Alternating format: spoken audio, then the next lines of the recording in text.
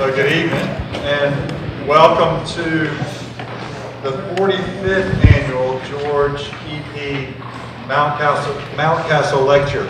Um, before I start, I just want to remind everybody, adults and, and students alike, um, silence phone, please, and, and refrain if you can, if you will, from uh, taking your phones out of your pockets during during the lecture. That would be fantastic. So thank you. Gentlemen, please model that behavior for the adults in the in the house tonight. So I'm, I'm glad everyone's here. A special welcome to visitors to Gilman tonight. Thank you for being here. I always like to take a, a brief moment just to thank, even in their absence, the Mountcastle family uh, Mrs. Mountcastle and, and now the late Dr. Mountcastle for making this lectureship possible in their son George's honor. There's a lot of information about the, the background to this lectureship and your program, but I'll just hit a couple of points I think are worth mentioning every year. George Mountcastle was a 1968 graduate of Gilman, and while he was here um, among being a scholar and an athlete, he was also a great um, lover and, and one who appreciated good writing and poetry. He won the Armstrong Prize, Prize for Poetry at graduation or commencement. And he wrote the poem, The Wonder Still Time, um, in 1967 while still at, at Gilman.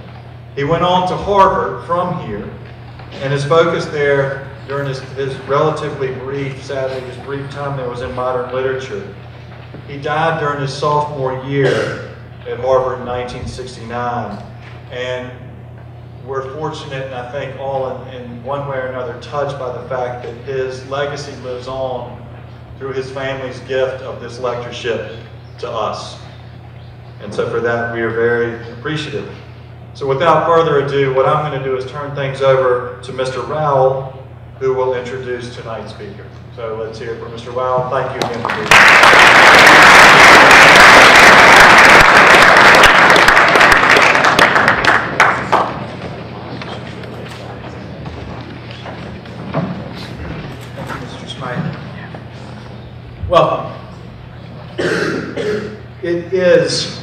My great pleasure tonight to welcome our 2015 Mountcastle speaker, Joanna Rakoff, to Gilman School and to this stage. She joins a long line of distinguished and accomplished writers in this series, and I am very pleased that she is here with us tonight. Ms. Rakoff's novel, A Fortunate Age, won the Goldberg Prize for Jewish Fiction by Emerging Writers and the Elle Readers Prize, and was a New York Times Editor's Choice and the San Francisco Chronicle bestseller. She has written for the New York Times, the Los Angeles Times, Vogue, and other publications. Her most recent work, My Salinger Year, is a memoir and coming-of-age story that recounts the time she spent as an assistant to the storied literary agent of J.D. Salinger.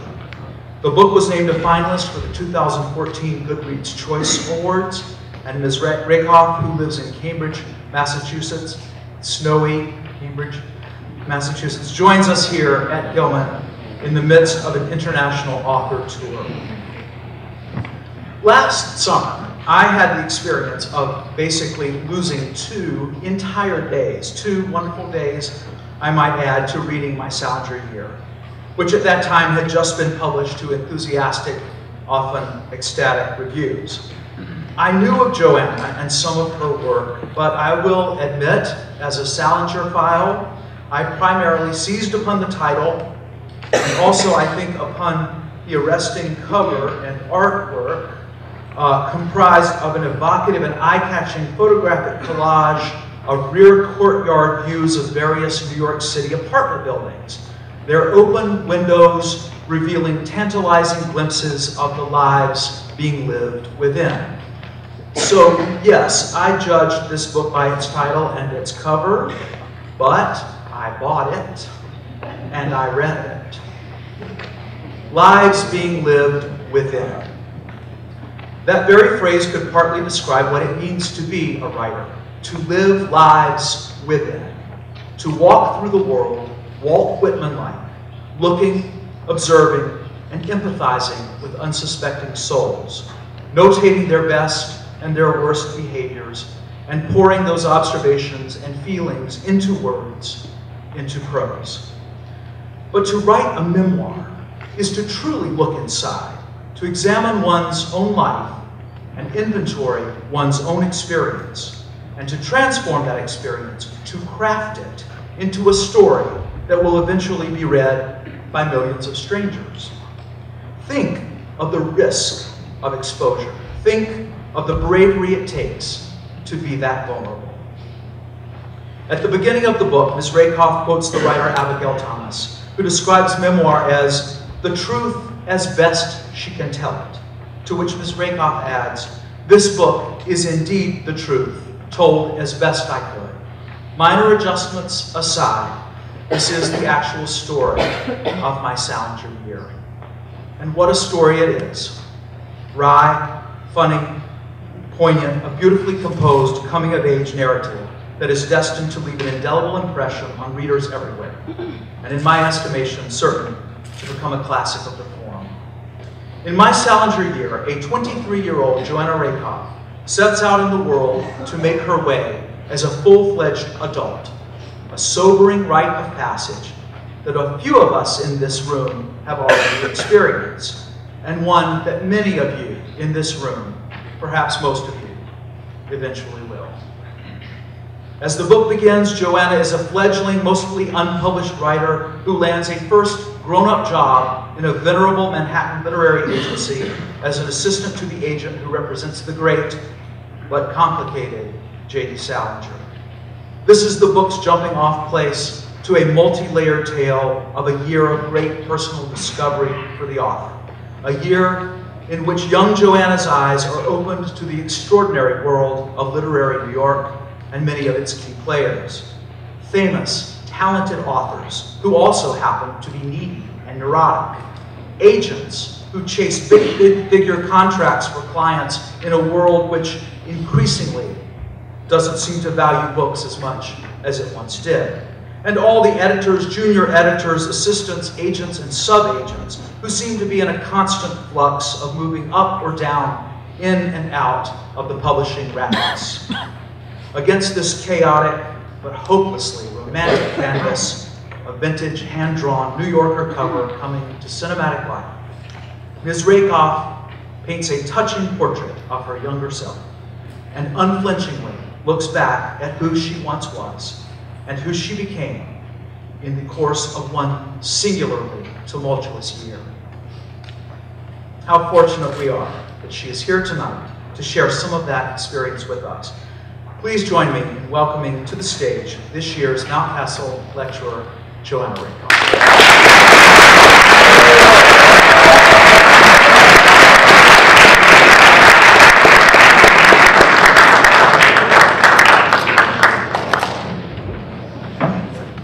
Hi, thank you so much. Oh my God, I'm about to start crying. That's like, that's a good dream introduction. Thank you. Um, thank you guys so much for having me, for being here. It's such an incredible pleasure and honor. When John wrote to me to ask me um, to do this, I looked at the list of um, people who appeared before me and thought, oh my God, me, really? Because I still sometimes, uh, this book is supposedly about my attempting to become an adult, and I still, all these years later, I'm not sure that I actually am one um, despite the fact that I was able to walk up this um, set of stairs in heels. Um, anyway, but you're all men, you don't know about that. Okay, so before I start, just to continue this thank you, I just want to say, um, so I had the privilege today of spending a bunch of time with some of your English teachers and um, visiting Winter classes, and um, you know, having gone to high school myself, I just want to say you guys are so lucky. Um, it, I I taught high school myself for a while, and you know, taught freshman English, and spent as much you know time in high school as a person uh, could, and you just have amazing people teaching you, and um, wow. So anyway, it's it's such a privilege to be here. okay, so um, this is called a lecture, but I'm not a huge lecturer. I am. Um, you probably all are thinking about college, and I for college I went to uh, Oberlin um, College, which some of you might be thinking about. It's a place where there are not a lot of lectures, and I chose it partly for that reason. Um, so I'm, what I'm going to do is I'm just going to talk to you a bit, and, um, and we'll just call it a lecture. Okay. So, so my Salinger year, um, as Mr. Ralph um, has, has told you, um, chronicles this one calendar year in my life. Um, it, it really does indeed start right after the new year in 1996, and um, I had this job at this agency um, through through that year. And there's a funny irony here because you know we've just gone through it up north. We've just gone through this this huge blizzard, and um, in in a way, um, it, it's it's kind of oddly fitting because my first day of work at this agency was um, actually the day that there was the, the last great blizzard in New York when everything was shut down. It was the last. Um, it, so in 1996, this blizzard completely shut New York down. However, um, now we all have smartphones and we're all sort of endlessly connected and what have you. So if a blizzard shuts a city down, you know about it and you know what's going on. But in 1996, we didn't. And so I um, had interviewed for and got this job right around Christmas, and then the office shut down, and I went off and you know had the holidays. And the first workday after the new year, I knew it was my first day at work, and I got up early and got dressed in this very nervous way. And uh, I didn't even know, I didn't own a radio or a TV, if you can imagine. Um, and I, um, you know, lived in this kind of very bare bones bohemian apartment in Brooklyn. And I looked out the window and I was like, oh, there's a lot of snow. And um, stepped out my front door and I noticed there was nobody else on the street at all, not one person. Walked to the subway, didn't encounter another person got on the subway, and um, there, were, there wasn't anyone on the subway, but it was running, and got off the subway at Grand Central. Have any of you guys been to Grand Central Station in New York? A lot of you. Okay, so you, you can imagine, what is it normally like? There are like 8 million people racing around. So I got out of the subway at Grand Central and walked into the Great Hall, you know, the main hallway where there were sort of stars above it, and there was no one there. I was the only person in Grand, the only person, one person, me. And I thought, there's something wrong here. Maybe I shouldn't be going to work today. And I, I left I left Grand Central and walked up to my office and there was no one on the street at all. It was just me walking through, you know, enormous drifts of snow. I got to my office and it was in fact closed. And um, so anyway, that was my first day of work. Okay, so, so now that we've had this huge blizzard again, it really actually has brought me back to that time that the New York Times published um, a photo of Grand Central on um, Monday, and it was completely empty. And I thought, oh my God, someone else, that photographer for the New York Times, experienced what I experienced. We're the two people in the world who've been in Grand Central, but it was completely empty. Okay. Anyway, moving on to Salinger and things that are more pertinent to, to all of this. So anyway, okay, I had so I worked at this agency for a year. Um, I started off as potentially the most naive, clueless human who has ever set foot in an office. Um, I did not know, when I interviewed for the job, I didn't know what a literary agency was. Do, do, who, do you guys know what a literary agency is? Any of you? No one, okay. You know what a literary agency, okay, excellent. Um, one person, so I didn't, so maybe it, it's not that weird. Um, if you live in New York and you're part of the kind of media world, like maybe your parents work at a magazine or in publishing, then maybe you know what it is, but most people, I suppose, don't. Um, a literary agent um, is basically sort of like a writer's manager or a writer's broker. So the writer writes the book, or in the case of a nonfiction book, you write a proposal for a book, a little thing saying, here's what this book is going to be, maybe with a sample chapter, depending on who you are and what, what they need from you. You write the book, and then your agent sells the book to publishers, and then the publishers, you probably heard of, Random House, Knopf, people like that, they um, they put the they make the book. You work with an editor there, and they make the book and put it out to the world, and they also you know have marketing people and publicity people and that kind of thing. So the agent is like the intermediary. And you've probably like, I don't know, seen Entourage? Yeah, so like, whatever, Ari Gold, him, right. So that's same thing, but for writers. Um, so but I had no idea once was I took this job having literally no clue. Um, and I got to the office on, on the first, on my second day. The first day I got there and there was no one there, and they had given me a key to the office, so I let myself in. I sat down at my desk. I was completely soaking wet if I had just taken a shower, and I um, was thinking, how am I going to survive this day? Completely soaking wet and freezing. And eventually my boss called and said, you know, what are you doing there? Why did, why did you come in? The whole city is closed, go home. Except in a, a somewhat more unpleasant uh, way, because that was her, her way of being.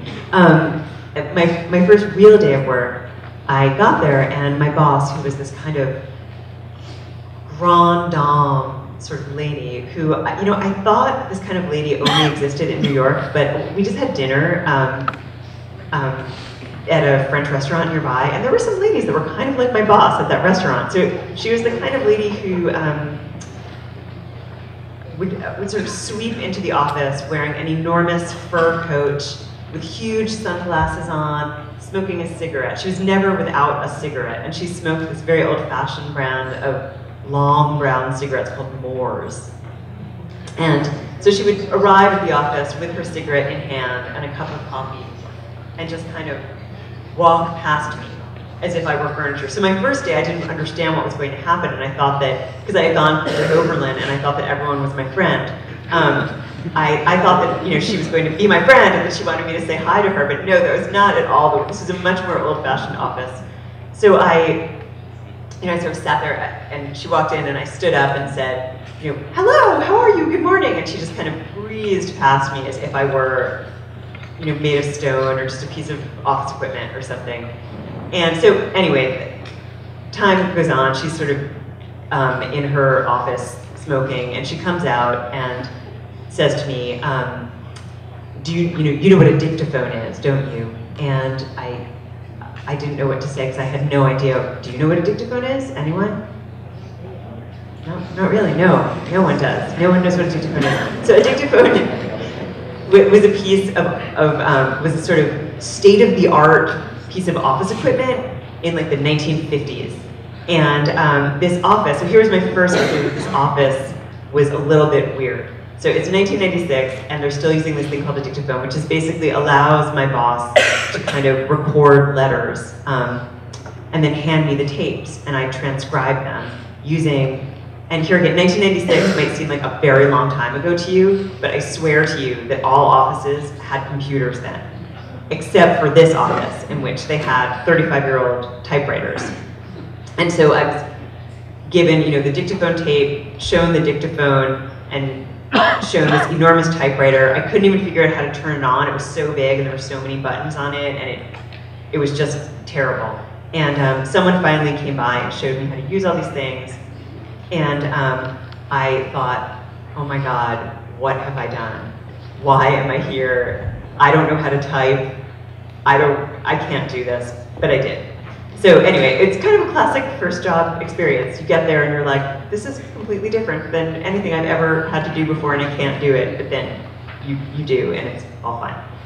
Okay, so that is basically the setup. No, what I'm going to do is I'm going to read a few sections from the book and as is my wont, I'm going to interrupt myself to explain who people are and what things are um, as I go. So, so basically, we're still on my first day at work because it was so utterly traumatic for me. Um, so I spend the whole I spent the whole morning typing, having you know no idea what I was doing, but thinking that I was doing okay. Um, and I should add here that I had lied to get this job. Um, I had been sent to this agency um, by what's known as a headhunter, a person who sort of placed people in jobs in publishing. And um, she said to me, "You can't type, can you?" And I, I said, "No, I can't type." And she was like, it's okay, no one of your generation can type. You were raised on computers, don't worry about it, but you need to type for this job. So when you go to the interview, just lie. And um, I'm a, a, terrible liar, and I said, you know, I can't lie. And she said, just trust me, you have to lie. And I found out later that she had been trying to place someone in this job for months. And it had taken her a while to figure out that, she, that everyone was being rejected because my the person who became my boss would say, can you type? And the candidate would say, no, I can't type and they would just be dismissed outright because you had to type to have this job. So finally, I arrived at the headhunter's office at the right moment. She had figured this out, And he was like, just lie, because I need my commission. I need to place someone in this job. So, okay. So I've been typing all morning, and my boss is in this office near me, and she's been smoking all morning, and um, I've developed this terrible headache, and it's now about three o'clock, and I, having never had a job before, sort of thought that someone was going to come and say to me, it's time for lunch, go take your lunch. It's lunchtime, like a whistle would blow or something. Or they would be like, punch out now, or I don't know what I thought. And, but nobody said this, and so I was growing increasingly hungry and cranky.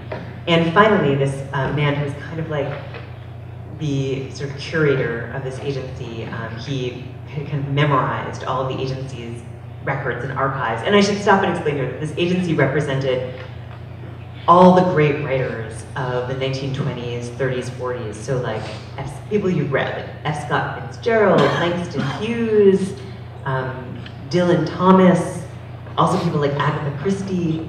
So he, this guy had sort of knew everything about all these writers and their contracts and what have you. So he finally came by and said, you know, go get a sandwich. And I was like, I can't, I haven't finished all this typing. And he said, you know, you have like weeks of typing to do. Just don't worry about it, go get a sandwich. And this is what happens when I go out to get a sandwich, to show you how clueless I was. Okay. Out on Madison, I found myself gazing through the windows of a chain sandwich shop. Its wares too much for me, because everything was too much for me. I had nothing. A few dollars my father had slipped me, which had to last until my first paycheck, which I presume would come at the end of the week. I didn't even have a bank account in New York yet. I had so little money, there seemed no point. So I, I had been in grad school in London, I'd been in a doctoral program, and I dropped out, much to everyone's annoyance and embarrassment. Um, everyone being my parents, who were like, okay, you've dropped out, now you have to get a job. We're not going to help you in any way. So here's a suit, go get a job. Um, my account in London was still open and there was some cash in it, but I wasn't sure how much or how to access it in this pre-electronic era. My wallet held two credit cards, but these I reserved for emergencies, and it didn't occur to me that I might use them for anything but, that I might use them for something as unnecessary as lunch, no matter how hungry I was. I would, I decided, simply buy a cup of coffee and an apple, a couple of dollars at most. On the west side of Madison, I turned into a deli and inspected a vast pile of overripe bananas. What you like, called the white-clad man behind the sandwich counter, smiling. Turkey on a hard roll, I said, without really intending to, my heart beating with the recklessness of this gesture. Provolone, lettuce, tomato, and a little mayo. Just a little. I think I thought that they were going to charge me for the mayo or something. Um, at the register, I handed over a 10 and was given $2 and two quarters back, several dollars more than I'd expected to spend on so humble a sandwich. My pulse quickened with regret. $5 was lunch. 750 750 was dinner. Back at my desk, I set down my sandwich and slipped off my coat. As I pulled out my chair to sit down, my boss appeared in the doorway to her office. Oh good, you're back, she said. Come in and have a seat. We have some things to talk about. Glancing sadly at my sandwich wrapped tightly in white butcher paper, I walked into her office and sat down in one of the straight-back chairs that faced her desk. So, she said, settling in her own chair behind that vast expanse of a desk, we need to talk about Jerry. I nodded, though I had no idea who Jerry was. People are going to call and ask for his address, his phone number. They're going to ask you to put them in touch with him, or me. She laughed at the ridiculousness of this. Reporters will call, students, graduate students. She rolled her eyes. She knew, of course, that I'd just been a graduate student like a day before. Um, they'll, they'll say they want to interview him or give him a prize or an honorary degree or who knows what. Producers will call about the film rights. They'll try to get around you. They may be very persuasive, very manipulative, but you must never. Behind her huge, heavy glasses, her eyes narrowed, and she leaned across the desk like a caricature of a gangster, her voice taking on a frightening edge. Never, never, never give out his address or phone number. Don't tell them anything. Don't answer their questions. Just get off the phone as quickly as possible. Do you understand? I nodded. Never, ever, ever for you to give out his address or phone number. I understand, I told her, though I wasn't sure I did, because I didn't know who Jerry was. This was 1996, and the first Jerry that came to mind was Seinfeld, who presumably wasn't a client of the agency, though one never knew, I suppose.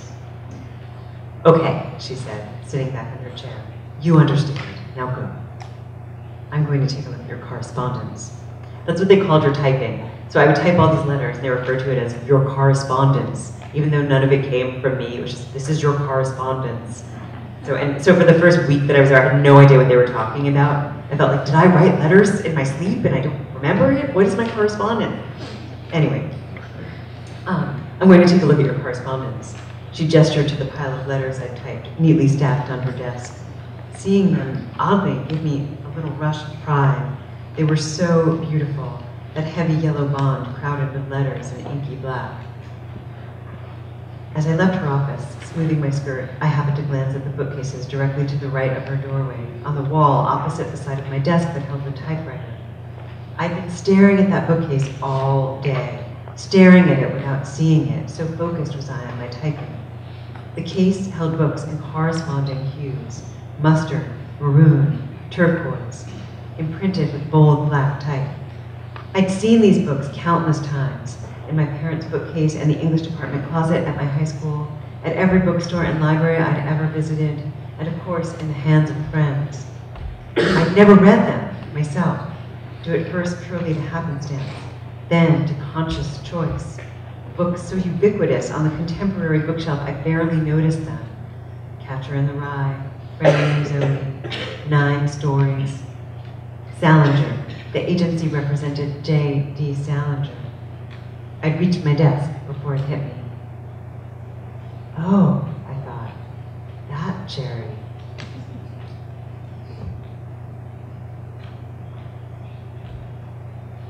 So, okay. So the day after this happened, after the uh, don't give out his address talk happened, my boss called me back into her office and very scarily explained that um, often assistants in taking this job were aware of the fact that Salinger was a client of the agency and took the job thinking that he was going to become their friend and they were going to become buddies with him and be like, hey, Jerry, I've written a novel, would you read it for me? And that kind of thing. And um, some people had been fired because of things like this. And so she gave me this very strict warning, you know, basically saying, he's never going to call, first of all. He doesn't call. You're, you know, and if he does call, he's going to be put through directly to me. You're, he's, you're not going to at your desk and pick up the phone and it's J.D. Salinger, so just get that out of your head. And, um, eh, but she, you know, but nevertheless, he's not going to call at all. So just forget it. He never comes into the office, no contact. He's not working on anything new, nothing. Just forget it. And then, an hour or two later, the phone rang, and it was him. And, and so it, turned out that this year that I worked at the agent, so what she said was indeed true. And for decades at that point, um, or more than a decade at that point, he had not called, he had not come in. He was a recluse, and he wanted the agency to kind of protect him from the world. He wasn't that interested in closely overseeing his business or looking at you know his royalty statements or anything at all. And he wasn't producing new work, so there wasn't that much for them to do. So it turned out that he had um, this idea that he was going to publish a new book. So it was 1996, as I said. In 1998, I'm sorry, 1988, so eight years earlier, a publisher in Virginia, a man who ran his own small press, had written to Salinger. Um, and the fact that he got through to him was amazing. He just wrote to him like care of the post office in Cornish, New Hampshire, where Salinger lived. And somehow this letter got to him, and he said, your last story, which was this very long story called Hapworth 16, 1929, um, your last story has never been published in book format. Your readers and your fans, I think, would really like this. Can I publish it in book format? And Salinger thought about it for eight years, and then um, called the day after I started working there to tell my boss that he wanted to do this, that he wanted this tiny press that this man basically operated out of his basement to um, publish this book for him. So, um, you know, I was quite young at the time, and I didn't really understand why my boss thought this was such a bad idea. Um, I felt like small presses are great. That's amazing. How cool. How cool of Salinger to, to let a small press do this. But of course, Salinger's books have sold hundreds of millions of copies, and this is a this was this little press that would sell a few hundred copies of a book. So my boss knew that this man wasn't really equipped to do this.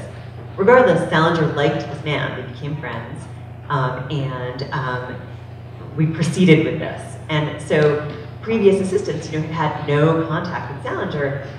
I, by luck or happenstance or whatever, ended up speaking to him at least once a week. Um, and there's a whole added layer to this that I you'll have to read the book to find out, but which is that my boss was out of the office for some months, but we were pretending that she wasn't out of the office. A sort of terrible tragedy befell her, and she was gone. And so I sort of had to front her. I had to pretend that she was still there. So Salinger would call, and he would be put through to me because the office, you know, they didn't have computers. They also didn't have voicemail. So um, can you imagine that? A world without not just without cell phones, but no voicemail, no answering machine. If somebody called and the receptionist had gone to the bathroom, the phone would just ring and ring and ring. So there was no, there was, she didn't have voicemail that Salinger could be put through to. She, he was just put through to me. So I sort of got to know him, and that's a lot of what the book is about. Um, but anyway, this is a little moment um, for when I, you'll see. Just, here we go. Okay. How many times had I been told that Salinger would not call, would never call, that I would have no contact with him, more than I could count? And yet, one morning, a Friday, at the beginning of April, I picked up the phone and heard someone shouting at me, Hello! Hello! Then something incomprehensible. Hello! Hello! More gibberish. Slowly, as in a dream, the gibberish resolved into language. It's Jerry! The caller was shouting. Oh my god, I thought. It's him. I began slightly to quiver with fear, not because I was talking to or being shouted at by the actual J.D. Salinger, but because I so feared doing something wrong and incurring my boss's wrath. My mind began to sift through all the Salinger-related instructions that had been imparted to me, but they more had to do with keeping others away from him, less to do with the man himself. There was no risk of my asking him to read my stories or gushing about the catcher in the rye. I still hadn't read it. Who is this? he asked, though it took me a few tries to understand. It's Joanna, I told him. Nine or ten times, yelling at the top of my lungs by the final three. I'm the new assistant. Well, nice to meet you, Suzanne, he said, finally, in something akin to a normal voice. I'm calling to speak to your bo- boss. I had assumed as much. Wyatt Pam, this is the receptionist. why Wyatt Pam put him through to me rather than taking a message. My boss was out for the day, it being Friday, her reading day. So I'll just, agents on Fridays often take this thing called their reading, a reading day, where they're supposed to read through manuscripts. But my boss, you know, wasn't really taking on new clients, so she didn't really have that much reading to do, so who knows what she did. Anyway, she, she was not there. Um, I conveyed this to him, or hoped that I did. I can call her at home and have her call you back today, or she can give you a call when she gets in on Monday. Monday is fine, he said, his voice ratcheted down another notch. Well, very nice to meet you, Suzanne. I hope we meet in person someday. Me too, I said. Have a great day. This was not a phrase I ever used. Where had it come from? You too! Ah, the shouting again. I put the phone down and took a deep breath, as I learned to do in ballet. My entire body, I realized, was shaking. I stood up and stretched. Jerry asked Hugh. So this is the kind of office manager guy, sort of office manager curator who knows the whole history of the office and sort of has it lodged in his head. Um, Jerry asked Hugh, stepping out of his office with a mug of coffee. Yes, I said. Wow. He's deaf, he explained. His wife set up this special phone for him with an amplified receiver, but he refuses to use it. Hugh sighed his trademark sigh. To be Hugh was to be let down by the world. What did Jerry want? Just to talk to my boss. I shrugged. I offered to call her at home and have her call him back, but he said Monday was fine. Hugh wrinkled his face and thought, hmm, why don't you call her anyway? I think she'd want to know who called. Okay, I said, thumbing through my Rolodex.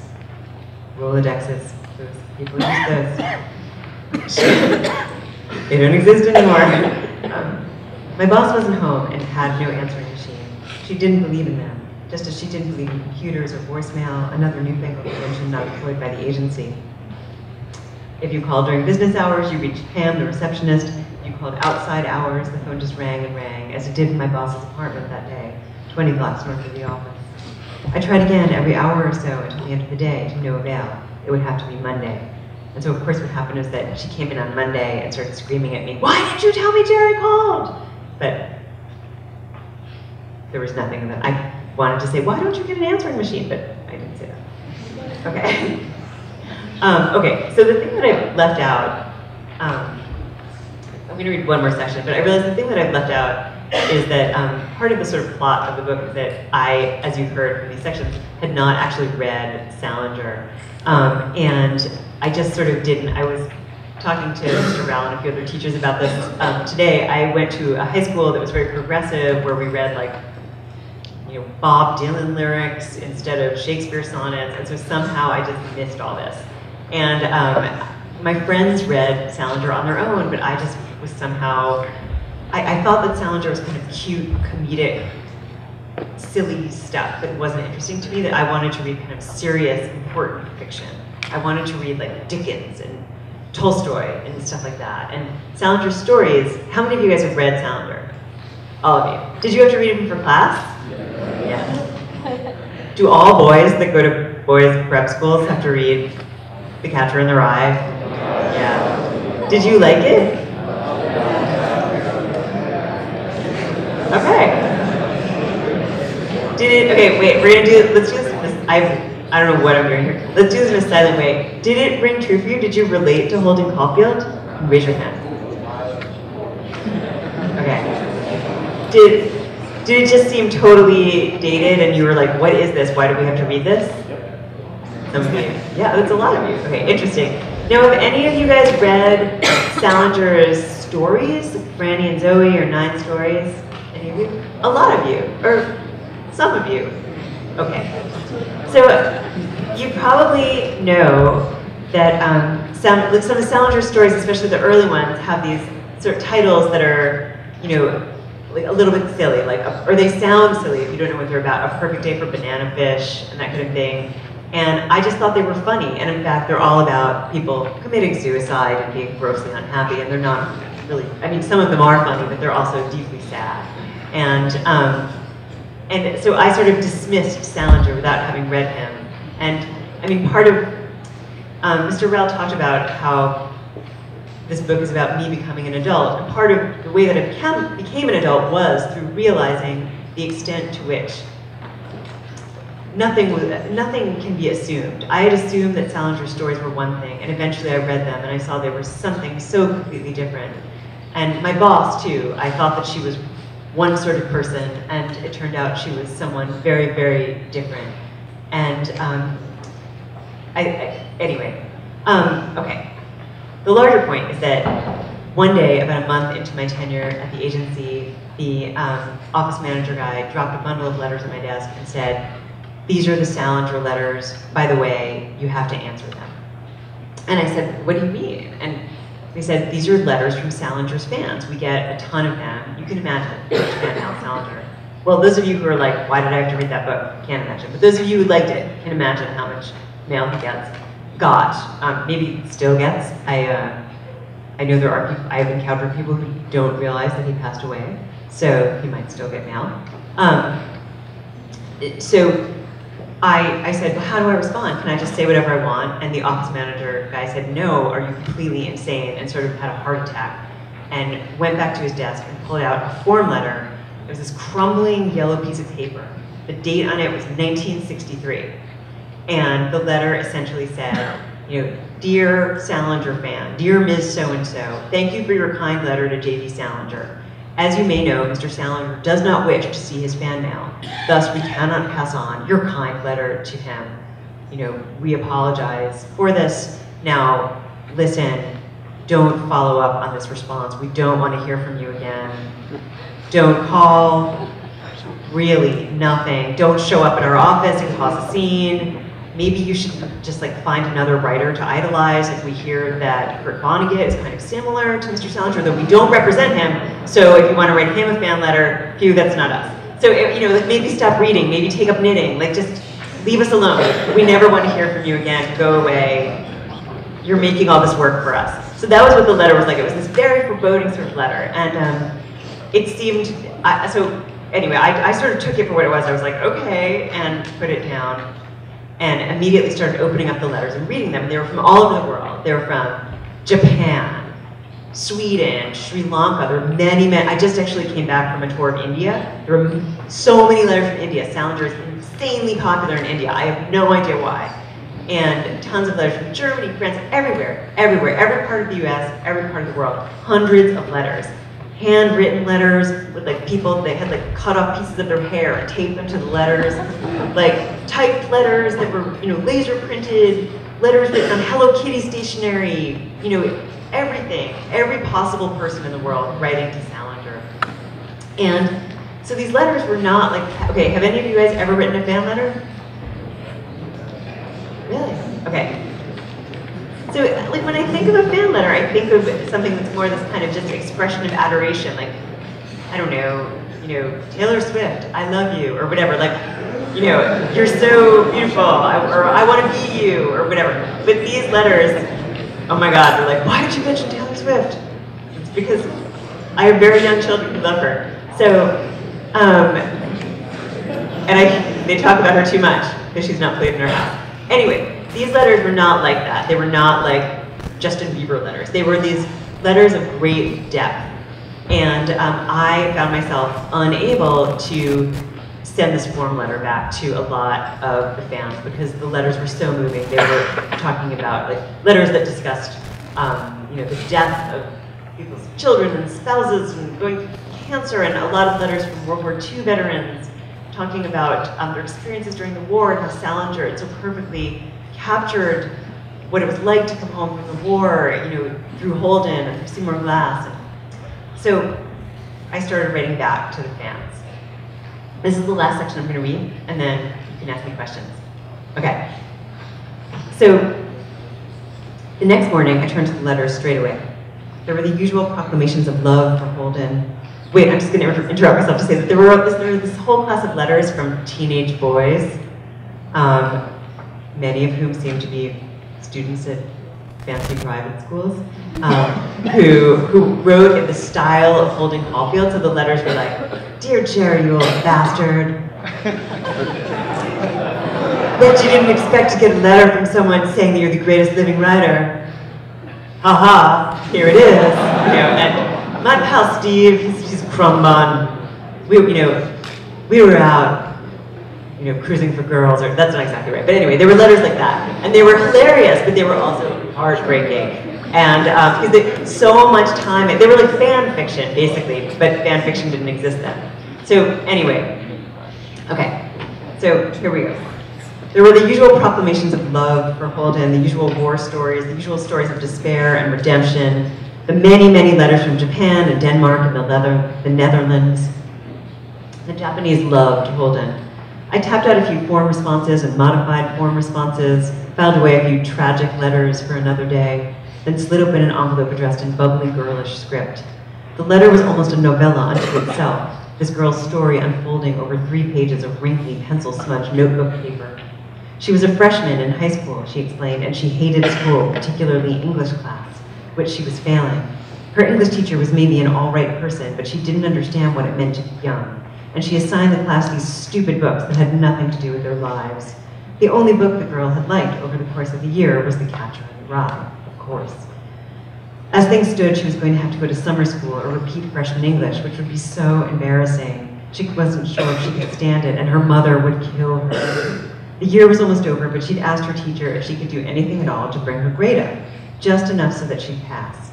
There is something you can do, the teacher told her. Write a letter to J.D. Salinger and make it good enough that he'll write back. If he writes back, I'll give you an A.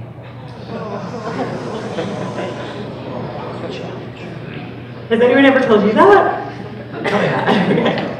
Um, hmm, I thought, putting the letter down and staring for the millionth time at the wall of Salinger books.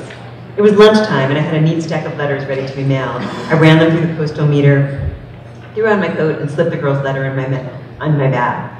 Unlined by my salad. Every, so every day I ate the same thing because I had no money, so the only thing that I could afford was the Greek salad at Au Bon Pain, which was the cheapest thing on their menu. So I ate the same thing every day for a year, basically. So unlined by my salad, I read it again. Despite various misspellings and sloppy penmanship, this girl wasn't a terrible writer. She conveyed her story vividly and honestly with passion and detail. And then there was the pure audacity, the ballsiness, the brattiness of writing to J.D. Salinger and saying, please respond so I can get a free A. I kind of liked her. Salinger had been a terrible student himself.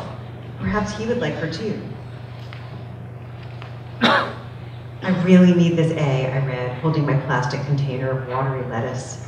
It will bring my entire GPA up to passing. My mother is mad at me all the time now. I know you understand.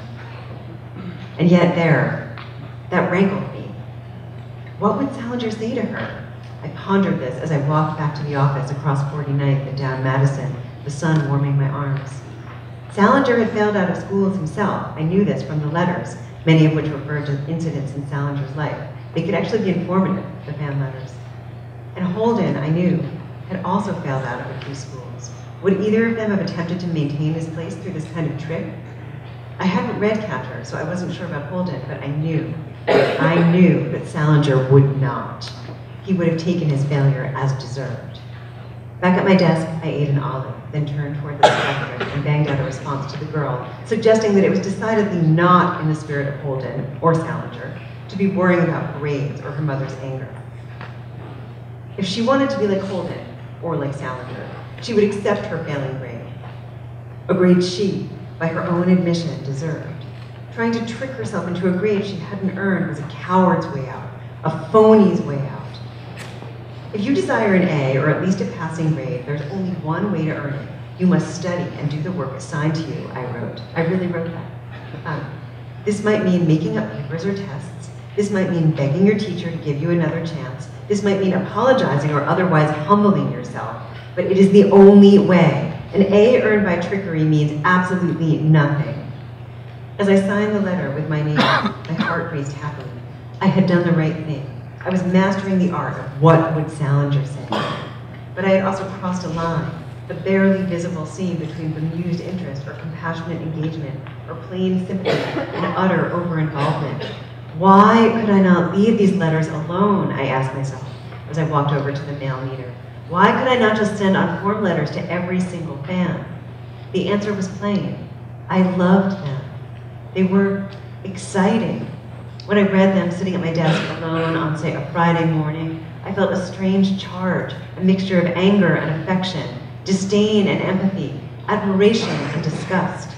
These people were writing to me, or, well, no, they were writing to Salinger, care of me, about their marital frustrations, their dead children, their boredom and desperation. They wrote about their favorite songs and poems, about the trips they'd taken to the Grand Canyon and Hawaii, about their favorite dolls. They told me, or I mean, they told Salinger, things I knew for sure they'd never told anyone else. Could I, over and over, respond to them in the most formal, impersonal manner possible? Could I just abandon them? Could I let them think no one cared, no one was listening? Okay, that's more than enough. Um, do you guys have questions for me? Yeah. Um, and thank you so much.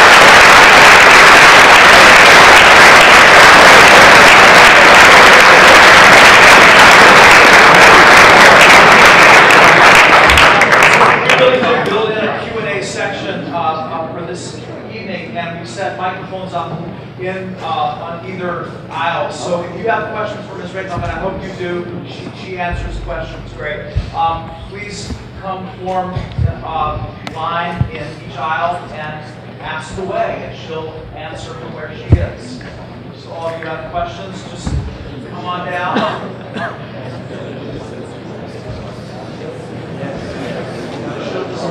Uh, my name is Joe. I'm a senior. Um, for an aspiring writer, and having worked for an agency, a literary agency, what advice would you give um, to someone who's trying to uh, make his work? Oh, God. I mean, I guess this is so not exciting advice, but I would say just to, first of all, read as much as you can. Um, and sort of read like you're taking a clock apart. Like if you're trying to write short stories, read every possible short story, like the whole breadth of short stories. You know, from Chekhov to whoever was published yesterday. You know, and just endlessly read and try, which is actually what Salinger did. We were just talking about this. Like he read and read and read and read short stories and to master that form. Um, if you're trying to write essays, same thing. If you're trying to write a novel, which I hope you are, same thing. And then to just force yourself to sit down every day and write. And once, like that's the most important thing. And the real truth, having worked at agencies, is that good work gets published. Like you hear people say like, oh, I worked on this thing forever and then no one would publish it and whatever. And not, not to be, you know, really sort of like scary, but really the truth is that if something is good and publishable, it will, it will get published and people will read it and it will be out there. Um, I def, I really, really did find that and do, do find that. You know, most of my friends are writers and it, the, the hardest part is just actually doing the work, sitting down and writing, you know? Um, and maybe, I mean, I'm assuming you're figuring out where you're gonna go to school in the fall, but maybe you know, choose a place that has a really good writing faculty, if you can, because it really helps, really helps tremendously. It can shape your life. Thank you. Sure. Hi. Hi, I'm Gus Menny, I'm a a junior. I was just wondering, um, since I, I haven't read your book yet, although it sounds great, um, I was wondering if you kind of tried to incorporate any of Salinger's style in the book? That's a really good question. Um, I did not consciously, and I'm a Salinger, so if you read the book, you'll see I do eventually read all of Salinger's work, and it has this profound effect on me. And um, I, to this day, am an enormous Salinger fan, and his work really has profoundly shaped, in a way, my life. And I reread almost, not Catcher actually, but uh, his stories I reread probably every year, especially Franny and Zooey and Raise High the Roof Carpenters. So his style and his way of telling a story and his way of putting a sentence together are kind of embedded in my brain in the same way other favorite writers' works are embedded in my brain. Thomas Pynchon, people who I just love. Um, and um, I think that I probably unconsciously incorporated some Salinger-esque things. I did consciously at a certain point, and I talked about this um, today um, in the class I visited, um, I, I, did consciously try to incorporate, to, Salinger has a lot of silence in his short stories. There, um, there's a lot of sort of blank space and a lot of filling things in in your own mind. He doesn't explain that much, and that's one of the things that I just love about his work, um, that he's not trying to sort of say, well, this person did this because of this, which is a big trope in contemporary fiction, like psychologizing characters. There's nothing that I hate more. And he doesn't do that at all. And so I, um, in writing this book, wanted to have a lot of space in it. I didn't want to explain everything. Um, I wanted it to be a more sparse book. Um, so that part I did very closely. Thank you very much. Thank you. Hi, um, my name is Simon Everett. I'm a senior. Um, I read an, interview earlier today in which you questioned the um, notion that J.D. Salinger's work appeals mostly to adolescents. And so I'm wondering if you could talk a little bit about that and maybe um, talk about whether you might have thought differently if you read it at an earlier age.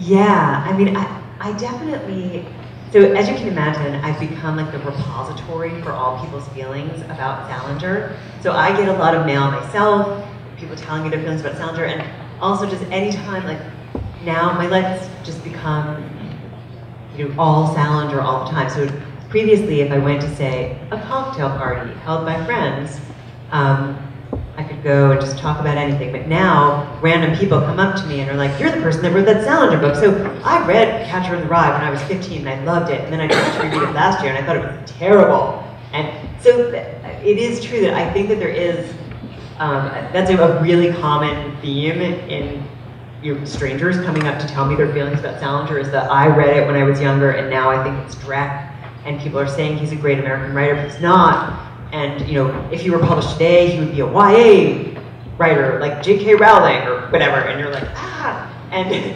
um, so I think that there is maybe a, a, classification of human who read Salinger as a teenager and identified really, really strongly and passionately with Holden Caulfield. Um, and now at age, whatever, 35, 40, 50, finds you know, that it doesn't have the same resonance. So it is possible that if I had read Salinger in that way, that that kind of passionate, like, I am Holden Caulfield, or um, I got a lot of letters from teenage girls too, um, you know, saying like, nobody understands me like Holden. All the boys at my school are horrible, like Stradlater. I'm you know, essentially like, I want Holden Caulfield to be my boyfriend. And so I didn't feel that way either. You know, I just, I was reading it as um, a person who was about to start writing a novel and who, you know, was looking at what he was doing and just sort of lost myself in that book and in, in the other books and um, as well. And so I think you're right. I think it is, there is the possibility that for some people, um, you know, the appeal of, say, The Catcher in the Rye was this kind of, this person has encapsulated my kind of adolescent fury. And when that fury is gone, there's nothing left um, in terms of um, enjoyment of, of his work or appreciation of it. But I personally don't, I, I, I mean, I can't say, oh, those people are wrong, because those are their feelings. But I feel that his work is, is truly, you know, like in the canon and is, um, it's, I'll just say this. If you step back and you look at what was going on in literature in America in the 1950s, when Salinger started publishing, his work is completely different than anything else that was happening at that time. It was revolutionary. And you know, it was bombastic, like Catcher in the Rye is a bombastic, novel that just completely, you know, kind of grabbed you by the throat and you know, sort of says, listen to me, you know, I have things to say. And um, American fiction at that time almost, if you look at what was really, really popular at the time that The Catcher in the Rye came out, a lot of those, the novels that were hugely popular or winning huge prizes at the time, they read like, almost like Victorian romance novels. Like they're completely unreadable today, popular fiction of that day. And so he really was doing something that was unlike anything that had come before him. And he really was, I, I believe, responding to, you know, the vast changes wrought by World War II, um, not just in America, but in the world. So that's my case for Salinger as a great American writer. Sure. Hi. Hi. My name is Sika Nakhan, and um, I'm an aspiring writer, and I really admire Salinger, and I've written some stuff about him, like short stories and stuff. And knowing how reserved he was when he was here, sometimes I feel guilty that I'm writing about him. And so I was just wondering, it may be a bit personal, but like, did you feel that way, like when you published this, knowing how like he liked to keep to himself and all that? Yeah, you know, it's funny. I think so. I first wrote um, a version of this. I wrote an essay on that covers some of the material in the book more than 10 years ago. I think maybe about 12 years ago, it doesn't matter. And before I wrote that essay, uh, people had been sort of pressuring me to do it and saying, oh, that's such a great story, you answered the fan mail. I think that I was resisting it, and I resisted it for a few years, and I think that, that was partly part of the reason why. But part of the reason also honestly had to do with um, how private the agency was. That um, the agency was very much um, they almost kind of modeled themselves on Salinger. They were so much about protecting his privacy and they're protecting their own sort of strange institutional culture that I felt I felt a bit like because I loved them. I, I felt kind of like I was betraying them by writing about them. But what I eventually realized was that um, I loved them, and so even if I, you know, even my boss, who could be scary, and you know, I didn't understand, understand where she was coming from. Um, it all, I, I realize that if you write something, this is going to sound really cheesy, but if you're writing something from a place of actual of love or, or respect, um, you're not doing anything wrong. You know, if you're writing something from a place of hatred um, or disdain, then you're maybe you are doing something wrong and you should question what you're doing. But um, I don't know if, if I, it's hard for me. People have said to me, "What do you think Salinger would think about this book?" And I, it may be incredibly naive of me, but I feel like he would be totally fine with it. There's nothing in here. Like, what, what is there in here that would, if he, unless he were a lunatic, and he didn't seem like a lunatic to me. So, go for it.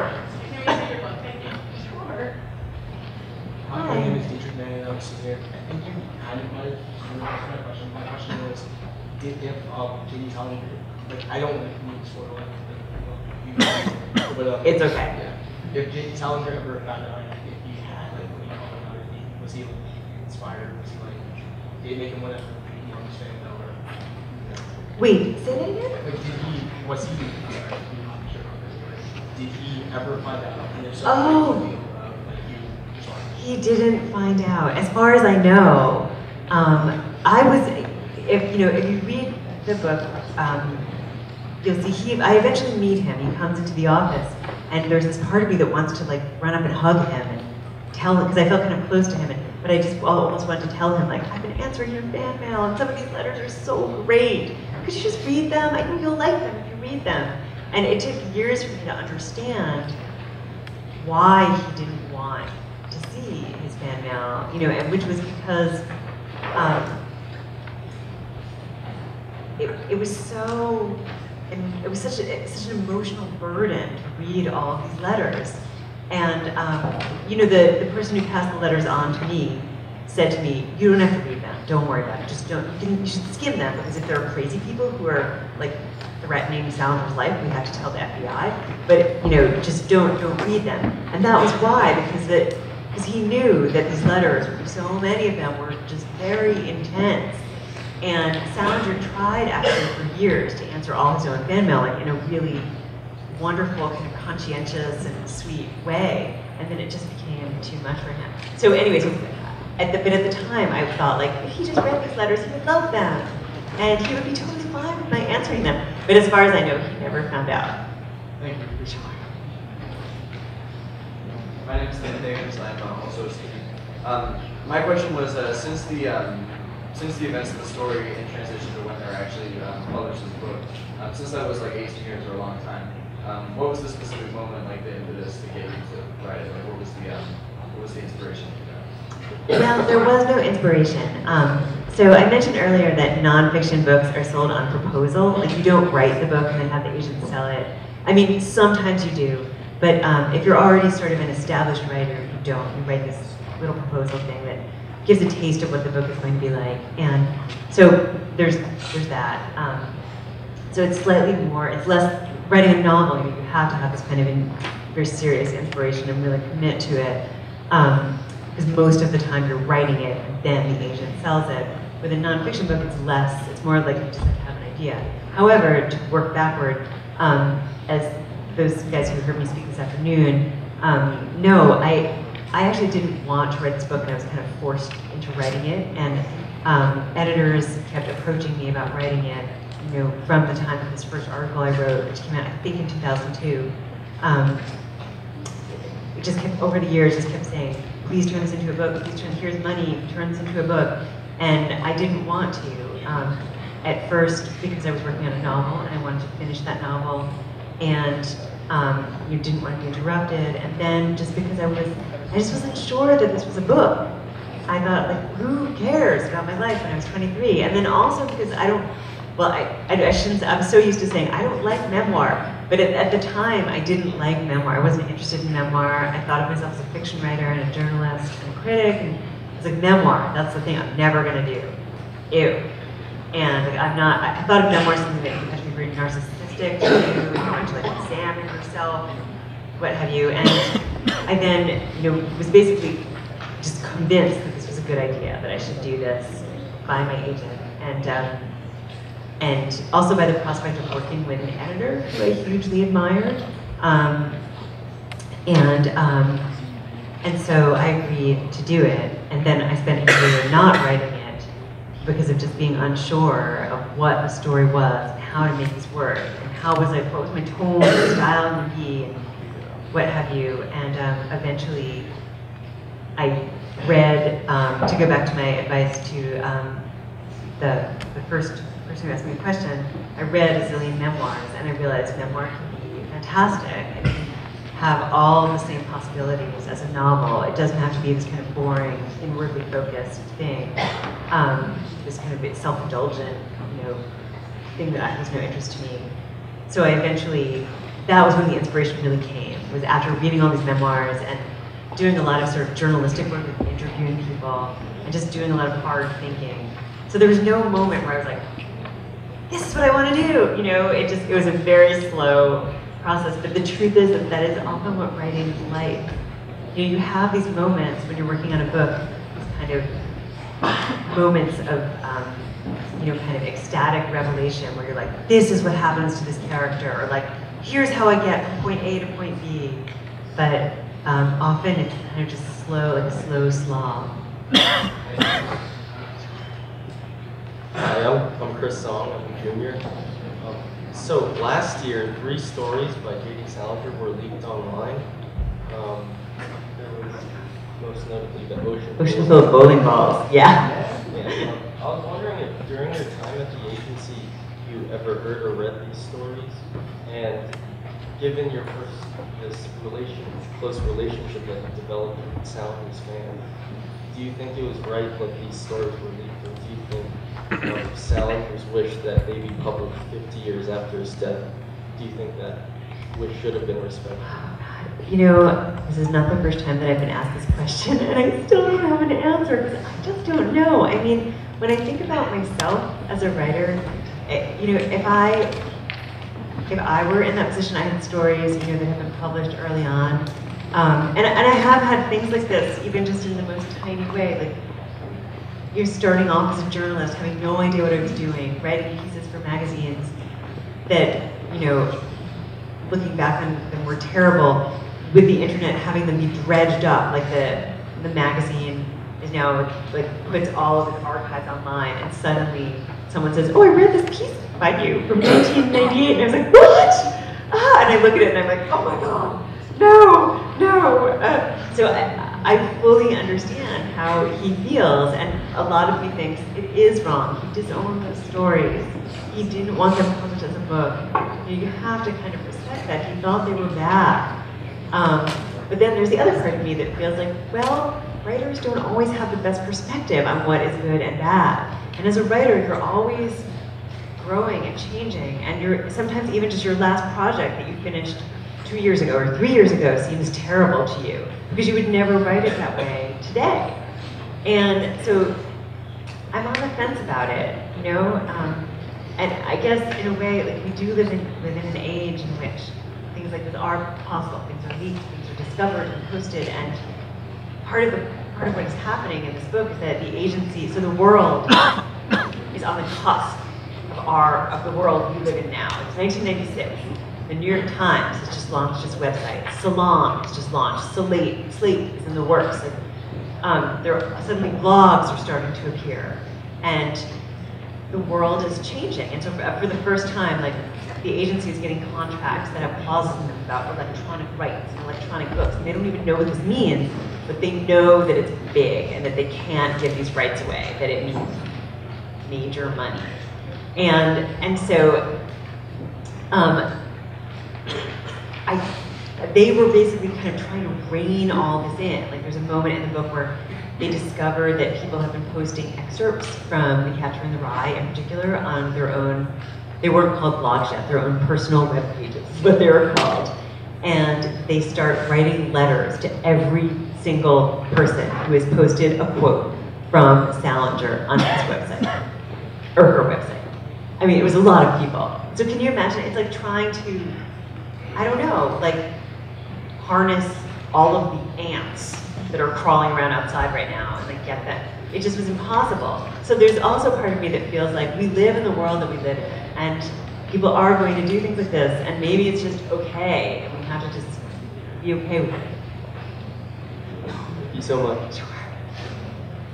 My question is a little early James, but I was wondering if you ever, like, in the moment, realized that what was going on with it was the book was story, or was only, or if it was only after that.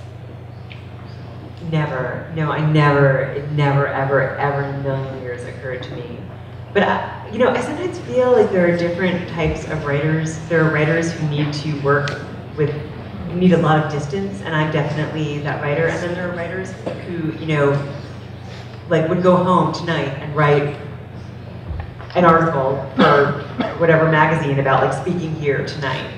You, you know, whereas I have many writer friends who just chronicle everything that they do.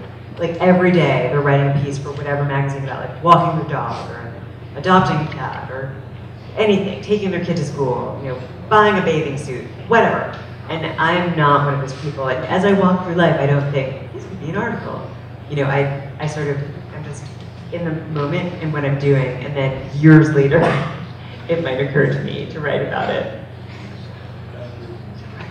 I think we actually have to, um, to cut that off. But gentlemen, there's a very nice reception for all of us in, uh.